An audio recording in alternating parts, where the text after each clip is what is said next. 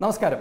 തിരുവനന്തപുരം സ്വർണ സ്വർണക്കള്ളക്കടത്ത് കേസിൽ പ്രധാന സംശയത്തിന്റെ നിഴലിൽ നിൽക്കുന്ന വ്യക്തികൾക്ക് സരിത്തെന്ന ഇപ്പോൾ കസ്റ്റഡിയിലുള്ള യുവാവിനും അതേപോലെ ശ്രീമതി സ്വപ്ന സുരേഷിനും കേരള സംസ്ഥാന സർക്കാരിന്റെ ഉന്നതങ്ങളിലുള്ള ചില പിടിപാടുകളെക്കുറിച്ച് നമ്മൾ നേരത്തെ തന്നെ സൂചിപ്പിച്ചിട്ടുണ്ട്. ഇതിന്റെ തുടക്കം മുതൽ നമ്മൾ പറയുന്ന കാര്യം ഇത്തരം ഇക്കിളിക്കഥകൾ ഇവരുമായുള്ള ബന്ധത്തിന്റെ ഇക്കിളിക്കഥകളുടെ പിന്നാലെ പോയി ഈ കേസിന്റെ മെറിറ്റ് ഈ കേസിന്റെ ഗൗരവം ചോർത്തിക്കളയരുത് എന്നുള്ള മുന്നറിയിപ്പാണ് നമ്മൾ തുടക്കം തൊട്ട് എല്ലാവർക്കും തന്നെ കൊടുത്തിരുന്നത്. തീർച്ചയായും എൻ ഐ എ ഈ കേസിന്റെ അന്വേഷണത്തിലേക്ക് വരുമ്പോൾ അതിന്റെ സ്വഭാവവും മറ്റും മാറുന്നതുകൊണ്ട് തന്നെ ഇനി അങ്ങനെ ഒരു വലിയ ആശങ്ക ഇക്കാര്യത്തിൽ ആവശ്യമില്ല എന്ന് തന്നെ തോന്നുന്നു. എന്തായാലും എൻ ഐ എ ഈ കേസിന്റെ രാജ്യവിരുദ്ധ ആംഗിൾ അല്ലെങ്കിൽ അതുമായി ബന്ധപ്പെട്ട കാര്യങ്ങൾ അന്വേഷിക്കുമെന്നുള്ളത് നമ്മൾ നേരത്തെ തന്നെ പറഞ്ഞു കഴിഞ്ഞു. ഇന്ന് തന്നെ നേരത്തെ നമ്മൾ മറ്റൊരു റിപ്പോർട്ടിൽ സൂചിപ്പിച്ചിരുന്നു. അതവിടെ നിൽക്കട്ടെ.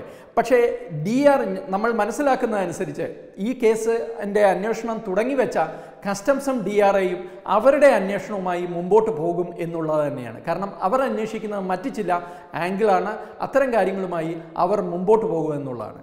നമ്മൾ മനസ്സിലാക്കുന്നതനുസരിച്ച് കഴിഞ്ഞ ദിവസങ്ങളിൽ ഡി ആർ ഐയുടെയും അതേപോലെ കസ്റ്റംസിന്റെയും ഉദ്യോഗസ്ഥന്മാർ അവരുടെ അന്വേഷണം കേന്ദ്രീകരിച്ചത് ഈ പറയുന്ന വിവാദ വ്യക്തികളുടെ കോൾ ലിസ്റ്റുമായി ബന്ധപ്പെട്ടാണ്. ഈ വിവാദ വ്യക്തികളുടെ എല്ലാ ടെലിഫോൺ കോളുകളും അവർ കൃത്യമായി പരിശോധിച്ചു എന്നുള്ളതാണ്. ആ പരിശോധനയിൽ ഇവർക്ക് ലഭിച്ച വിവരങ്ങൾ ഞെട്ടിപ്പിക്കുന്നതാണ് എന്നുള്ളതാണ് നമ്മൾ മനസ്സിലാക്കുന്ന ഒരു വിവരം. അതിൽ ഉദ്യോഗസ്ഥന്മാരും അതേപോലെ മറ്റ് വളരെ പ്രമുഖരായ ചില വ്യവസായികളും മറ്റ് വ്യക്തികളുമൊക്കെ ഈ വിവാദ വ്യക്തികളെ കൃത്യമായി നിരന്തരം വിളിച്ചിരുന്നു എന്നുള്ള വിവരം അതിലുണ്ട് എന്നാണ് നമ്മൾ ഏതാണ്ട് സ്ഥിരീകരണം എന്ന് തന്നെ പറയാവുന്ന രീതിയിൽ നമ്മൾക്ക് വിവരം ലഭിക്കുന്നത്. പക്ഷേ ഏറ്റവും ഞെട്ടിപ്പിക്കുന്ന ഒരു കാര്യം സംസ്ഥാന മന്ത്രിസഭയിലെ തന്നെ ഒരു മന്ത്രി ഈ വിഷയവുമായി അല്ലെങ്കിൽ ഈ വിഷയവുമായി ബന്ധപ്പെട്ട വിവാദ വ്യക്തികളെ സ്ഥിരം വിളിക്കുന്ന ഒരാളായിരുന്നു എന്നുള്ളതാണ്. ആ വ്യക്തി ഇതുവരെ ഈ വിഷയവുമായി ബന്ധപ്പെട്ട് പ്രതികരിച്ചിട്ടില്ല അദ്ദേഹം രംഗത്തില്ല. പക്ഷേ ഇങ്ങനെ ഒരു വ്യക്തി നിരന്തരം ഈ വിവാദ വ്യക്തികളുമായി സമ്പർക്കത്തിലായിരുന്നു എന്നും അദ്ദേഹത്തിന്റെ നിരവധി കോളുകൾ ഈ കോൾ ലിസ്റ്റിൽ ഉണ്ട് എന്നുള്ളതാണ് നമ്മൾ അറിയുന്ന പ്രധാനപ്പെട്ട ഒരു വിവരം.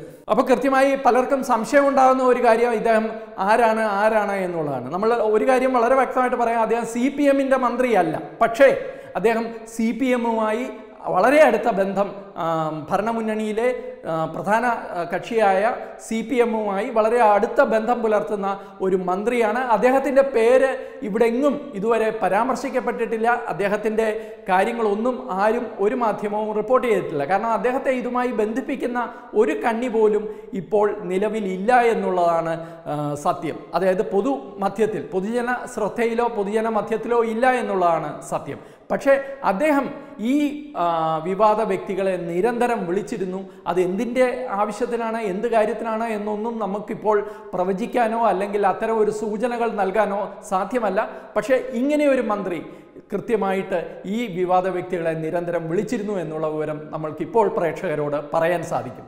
അപ്പോൾ ഒരു മന്ത്രി മാത്രമല്ല നിരവധി ഉദ്യോഗസ്ഥന്മാരും ഉന്നതരും ഒക്കെ ഇവരെ വിളിച്ചിരുന്നു. അപ്പോൾ ഡി ആർ ഐയുടെയും അതേപോലെ കസ്റ്റംസിന്റെയും അന്വേഷണം പാരലായിട്ട് തന്നെ നടക്കുമെന്നാണ് നമ്മൾ മനസ്സിലാക്കുന്നത്. കാരണം അവരന്വേഷിക്കുന്ന വകുപ്പുകൾ വേറെയാണ്. അപ്പോൾ അതുകൊണ്ട് തന്നെ അവരുടെ അന്വേഷണത്തിൽ ഈ കാര്യങ്ങൾ പുറത്തു വരുമെന്ന് നമുക്ക് പ്രതീക്ഷിക്കാം. തീർച്ചയായിട്ടും അന്വേഷണത്തിന്റെ പുരോഗതി അവർ മറ്റ് ഏജൻസികളുമായും എൻ ഐ എയുമായിട്ടൊക്കെ അവർ പങ്കുവെക്കുകയും ചെയ്യും. അപ്പോൾ ഒരു സമഗ്രമായ അന്വേഷണത്തിലൂടെ കേരളത്തെ ഒരുപക്ഷെ ഞെട്ടിപ്പിക്കാൻ സാധിക്കുന്ന കേരളത്തിലെ പലരുടെയും രാഷ്ട്രീയ ഭാവി തന്നെ അപകടത്തിലാക്കുന്ന ഒരു വലിയ നെക്സസിന്റെ ഒരു വലിയ ശൃംഖലയുടെ വിവരങ്ങൾ പൊതുജന മധ്യത്തിൽ പുറത്തു വരും അടുത്ത ഏതാനും ദിവസങ്ങൾക്കുള്ളിൽ അല്ലെങ്കിൽ ആഴ്ചകൾക്കുള്ളിൽ എന്ന് തന്നെ നമ്മൾക്ക് പ്രതീക്ഷിക്കാം. നമസ്കാരം.